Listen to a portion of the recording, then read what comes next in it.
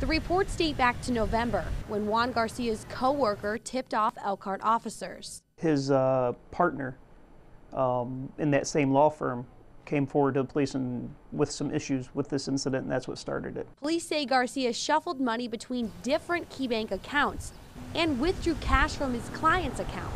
Monies were taken out, they were used for his benefit. And that's not all.